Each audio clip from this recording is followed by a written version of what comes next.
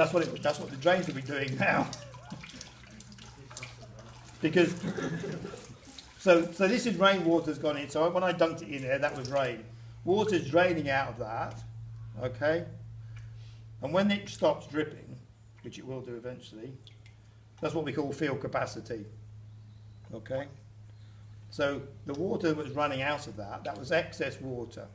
Okay, so that's what happens during the drainage winter, which in the last 12 months has been 12 months. But normally is, you know, it should dry up in the spring and wet up in the autumn. Okay, so that's, so we mostly got to field capacity now. There's obviously still water in that sponge, because if I squeeze it, you can see how much water I can get out of it. And that's the water that's in the soil that dissolves the nutrients that we put in, whether it's artificial fertiliser or whether it's slurry or muck or whatever. And that's what's available to the plant. And if I keep squeezing that bit, that sponge until I get it absolutely dry, that would be what we call permanent wilting point. Now we haven't had permanent wilting point in this part of the world since 1976 most probably, you know. And even in this part of the world you might not have had permanent wilting point. I was working on a large uh, fruit farm in uh, Essex, in North Essex. We had two five million gallon reservoirs and we emptied both of them just to keep the trees alive in 1976. It was fantastic for overtime. I'd never earned as much money in my life. but what we need to do is make, so what we need to do is make sure that that sponge is that way up rather than that way up.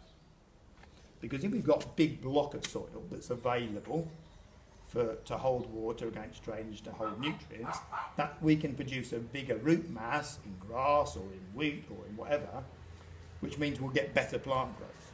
If we've got a sponge that's that only that deep rather than that deep, you can see there's a lot less water available, but more importantly, that block of soil will get wetter quicker. And therefore the bearing strength of that soil is reduced because it gets wetter quicker. Okay, so uh, you were saying you brought your cows in because it's not fit. That's- to a different area. Yeah, that, no, no, yeah, but that's but that's because it's got wet. You know, we've got to we're, we're beyond field capacity. It's got wet. It, the bearing strength of the soil reduces, and therefore, you know, if you put a cow on it, you're going to damage it. Because cows actually the worst thing we have on grass fields. You know, we spent all these years trying to breed cows that produce a small milk. What we should have been doing is, as well as doing that, is breed them to have bigger feet. Because they're much heavier on the ground than any of your tractors are. Especially if you get the tire pressures right in the tractors. The cows are the ones, they've got small feet, big black and white cows now. They paddle it up much more than any tractor ever will.